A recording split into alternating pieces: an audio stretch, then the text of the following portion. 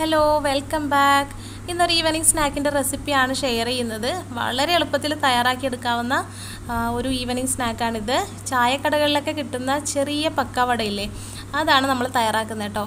നല്ല കളർഫുള്ളായ അതുപോലെ തന്നെ നല്ല ടേസ്റ്റി ആയിട്ടുള്ള ഈ ഒരു റെസിപ്പി എങ്ങനെയാണ് തയ്യാറാക്കിയെടുക്കേണ്ടത് നോക്കിയാലോ. അപ്പോൾ ഇത് കടലമാവ് ഉപയോഗിച്ചാണ് തയ്യാറാക്കുന്നത്. അത് നിങ്ങൾക്ക് എല്ലാവർക്കും അറിയായിരിക്കും. ഒന്നര കപ്പ് കടലമാവ് നമ്മളിവിടെ എടുത്തിട്ടുണ്ട്. ഇതൊരു ബൗളിലേക്ക് ചേർത്ത് കൊടുക്കുക. ഇനി നല്ല ക്രിസ്പി ആയി കിട്ടാനായിട്ട് അര കപ്പ് അരിപ്പൊടി കൂടെ ചേർത്ത് കൊടുക്കാം. ആവശ്യത്തിനുള്ള ഉപ്പ് ഇനി ചേർക്കാം.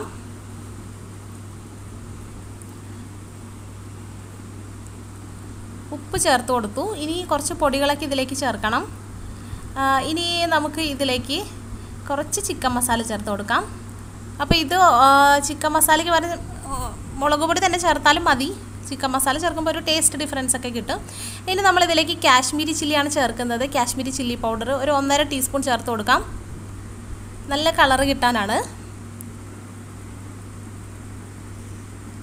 ഒരല്പം മഞ്ഞൾപ്പൊടി കൂടി ഞാൻ ഇതിലേക്ക് ചേർക്കുന്നുണ്ട്. നമുക്ക് ഈ ആദ്യം ഈ പൊടികളൊന്ന് മിക്സ് ചെയ്തെടുക്കാം. അപ്പോൾ ഒരു വിസ്ക് ഉപയോഗിച്ചിട്ട് മിക്സ് ചെയ്യുക വിസ്ക് ഇല്ലെങ്കിൽ ഒന്ന് പൊടി അരിച്ചെടുത്തോളൂ. ഇപ്പോൾ ചെറിയ കട്ടകളൊക്കെ ഉണ്ട് കടലമാവിൽ അപ്പോൾ നമ്മൾ വിസ്ക് വെച്ച് മിക്സ് ചെയ്യുമ്പോൾ ഇതെല്ലാം ഉടഞ്ഞ് നല്ലതുപോലെ കിട്ടും നമുക്ക്. ഒരല്പം ബേക്കിംഗ് സോഡ ചേർത്ത് കൊടുക്കുന്നുണ്ട്.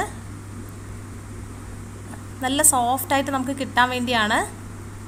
അടുത്തതായിട്ട് ഞാൻ ഫുഡ് കളറാണ് ചേർക്കുന്നത്. ഇത് ഓപ്ഷനിലാണ് നമ്മൾ കാശ്മീരി ചില്ലി ചേർത്തതുകൊണ്ട് ആവശ്യമില്ല.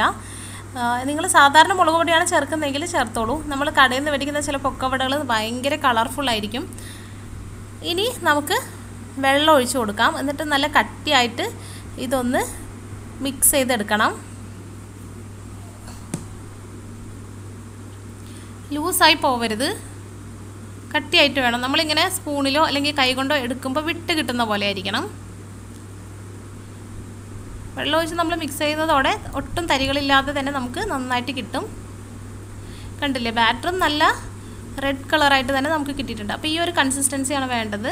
ഇനി ഇതിലേക്ക് അരിഞ്ഞു വെച്ചിരിക്കുന്ന ഇഞ്ചി പച്ചമുളക് കറിവേപ്പില ചെറിയുള്ളി എന്നിവ ചേർത്ത് കൊടുക്കാം. ചെറിയുള്ളിക്ക് പകരം ഒരു സവാള എടുത്താലും മതി. ചെറിയുള്ളി എടുക്കുമ്പോഴാണ് പ്രത്യേക ടേസ്റ്റ് അപ്പോൾ ഉള്ളിവടയിൽ ചില കടകളിലൊക്കെ ചെറിയുള്ളിയാണ് യൂസ് ചെയ്യുക.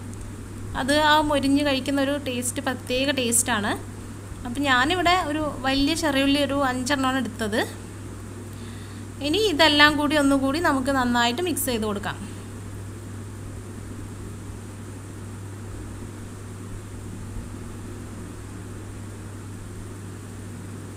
ഈസിയാണിത് തയ്യാറാക്കാനായിട്ട്. നമ്മൾ ഈ വെജിറ്റബിൾസ് ഒന്ന് അരിഞ്ഞെടുക്കേണ്ട ഒരു ബുദ്ധിമുട്ട് മാത്രമേ ഉള്ളൂ. അതിപ്പോൾ നമുക്ക് ചോപ്പർ ഉണ്ടെങ്കിൽ എല്ലാം കൂടി ചോപ്പറിലിട്ടൊന്ന് ചോപ്പ് ചെയ്തെടുത്താൽ മതി. എന്നിട്ട് ഡയറക്റ്റ് ആഡ് ചെയ്താൽ മതി. ഇതുപോലെ വേറെ വേറെ കട്ട് ചെയ്ത് കാണിക്കണം എന്നൊന്നുമില്ല അപ്പോൾ ഇതേ നമ്മൾ മിക്സ് ചെയ്ത് കഴിഞ്ഞു. ഇനി ഇതുപോലൊരു ചെറിയ സ്പൂൺ ഉപയോഗിച്ചിട്ടാണ് നമ്മൾ തയ്യാറാക്കി എടുക്കുന്നത് ഇതുപോലെ കോരി എടുക്കുമ്പോൾ നമുക്ക് ഇതുപോലെ കോരി എടുക്കുന്ന സമയത്ത് ഇങ്ങനെ വിട്ട് കിട്ടണം. ആ ഒരു രീതിയിലാണ് വേണ്ടത്. അപ്പോൾ നമുക്ക് നോക്കാം. അപ്പോൾ ഇതേ ഞാൻ തയ്യാറാക്കി തുടങ്ങിയിട്ടുണ്ട്. നല്ല ചൂടായിരിക്കുന്ന എണ്ണയിലേക്ക് ഇതുപോലെ ഓരോ സ്പൂൺ കോരി എടുത്തിട്ട് ഇട്ട് കൊടുക്കാം. ഇത് നമുക്ക് കൈ കൊണ്ട് വേണമെങ്കിലും ചെയ്ത് കൊടുക്കാം.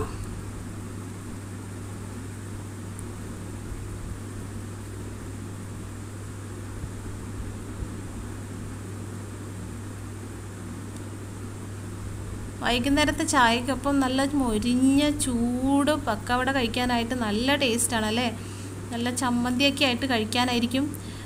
ഒരുപാട് പേർക്കും ഇഷ്ടം ഉണ്ടാവുക ഇതിന് മുളക് ചമ്മന്തിയാണ് യൂസ് ചെയ്യുന്നത്. അപ്പോൾ അതേ മൊരിഞ്ഞ് വന്നിട്ടുണ്ട്. ഇനി അവസാനത്തെ ബാച്ചിനൊപ്പം കുറച്ച് കറിവേപ്പില കൂടി ഇട്ട് മൊരിച്ചെടുക്കാം. അപ്പോൾ നല്ലൊരു മണമൊക്കെ കിട്ടും. അപ്പോൾ അപ്പം നമ്മുടെ ടേസ്റ്റി പക്കോട ഇവിടെ റെഡി ആയിട്ടുണ്ട്.